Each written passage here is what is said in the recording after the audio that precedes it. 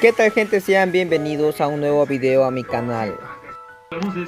Pues, ¿qué pasaría si Perú saca todas sus animaciones de sus historias? Por ejemplo, todas sus historias de la antigüedad, o sea, de las épocas antiguas, por ejemplo. Eh, obviamente todo el mundo estamos cansados de entrar a Google y lo primero de buscar es animes, pues y lo primero que salen son animes que están hechos en Japón y pues obviamente Japón eh, es un gran país que crea animes y pues Obviamente tiene diferentes estilos de crear animes, por ejemplo, tiene a Komi-san y entre otros animes que es famosísimo de Japón. ¿Y por qué no? Ahora dejemos a Japón a un lado y hablemos de Perú. ¿Y por qué no Perú también puede ser lo mismo? Sacar sus animes para que sea reconocido también con la animación en todo el mundo. ¿Qué pasaría si un día te levantas de dormir y pues lo primero que buscas a Google es pones animes y lo primero que salen son estos?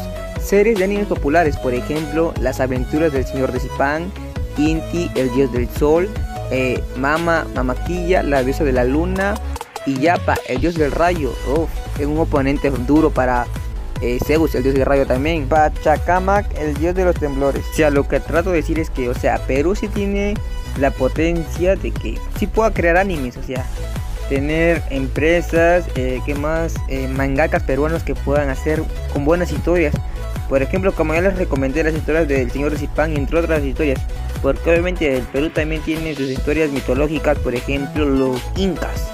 Eh, Manco Capa, Mamá Okio muy fuertes, se pueden crear buenas historias, solamente lo malo es que la única vaina es a la hora de que tú quieres hacer un manga, pues obviamente tú no sabes dibujar muy bien o si sabes dibujar, pero para los que no saben dibujar, pues poder contratar a un mangaka va a ser muy caro y pues y el que sabe dibujar está que junte su platita para que obviamente si él ya sabe dibujar pues obviamente lo quiere hacer en animación y pues eh, la, o sea para animar un manga para poder animar un manga pues está un poco caro se podrá decir porque ahorita estuve investigando y pues hay bastantes mangakas peruanos que ya tienen su anime. Sea si hay mangakas peruanos que han sacado anime aquí en el Perú solamente que lo malo es la animación o sea, no tienen la economía suficiente para crear y sacar la animación de ese anime. Y obviamente después aquí como en Perú está un poco difícil hacer eso de manga animación.